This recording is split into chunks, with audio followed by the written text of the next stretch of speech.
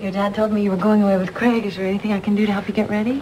I'm only taking some shorts and some bathing suits. Uh, we shouldn't even be gone that long. You must be excited.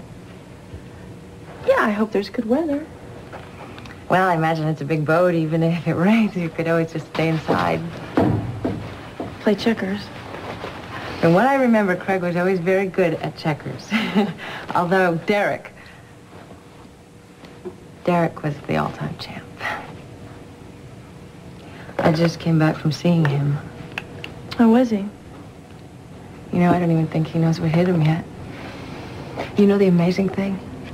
He doesn't blame me. I mean, all these years, with one phone call, I could have changed the entire course of his life, and he doesn't hate me.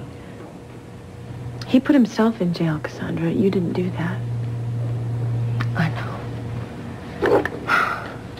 It just seems so unreal to me that he could try to kill Mason. Doesn't to me. If Craig hadn't been there, my brother'd be dead today. Craig's a real hero in your eyes, isn't he? I mean, I would certainly see him that way if I were you. Well, that's not why we're going on this trip. It's not a reward. I didn't mean to imply that it was.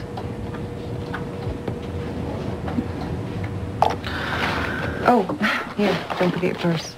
Oh, you know, I don't even want to take two bags. Let's just dump all this in here and then be easier.